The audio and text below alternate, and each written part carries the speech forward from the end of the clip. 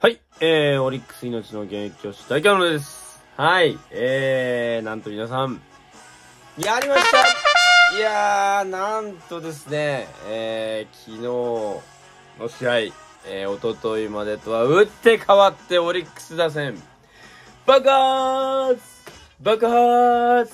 はい、というわけでね、昨日9対1のもう大量得点でですね、オリックス勝利いたしました。いやー、種市投手はね、もうほんとオリックスキラーだったんですけど、ロットオリックスキラーばっかりなんですけどね、去年ね。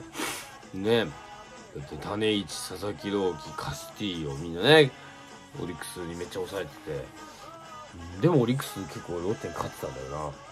これ逆にすごいけどね。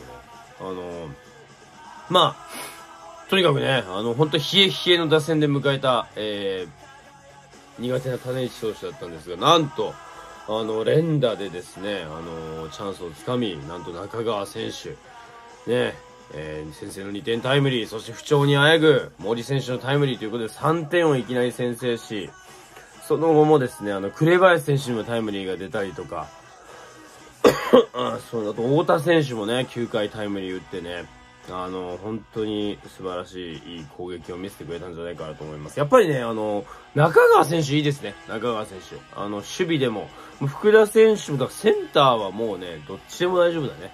あの、中川だろうが、福田だろうが、えー、オリックスは、もう万全な状態です。はい。センターは大丈夫。はい。まあ、あとはね、本当にも紅林選手のタイムに出たし、あの、やっぱ不調組がどんどん復調してきてくれれば、あのー、いい感じになっていくんじゃないかなと思います。でね、何より、エスピノーザ。エスピノーザが素晴らしい。うん。なんていうか、ローテの最後に入るかとか言ってたけど、もう救世主だね。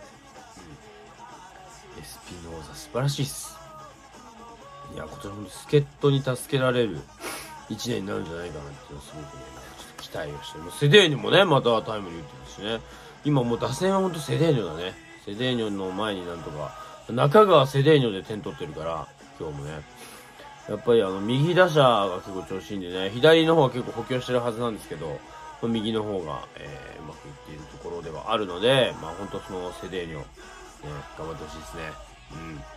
まあなんとかね、ちょっと9点取って、打線がちょっと復調した上で、本日の佐々木朗希戦を迎えるということなんで、まあなんとか、佐々木朗希を打ち崩してね、これちょっと今季初の勝ち越し。まだ勝ち越しないから。負け越し負け越しできてるんで、借金どんどん増えちゃうんでね。勝ち越ししてね、借金1個でも返していきたいなと思います。はい。いやー、でもオリックス良かったけど、昨日は。もう本当にね、オリックス打線素晴らしい、あのー、いいところがね、すごく出て。まあ、どんどんここからね、みんな復調して、頑張ってほしいなと思います。というわけで、エスピノーザありがとうね、本当に、君が来てくれて、嬉しいよ。借的。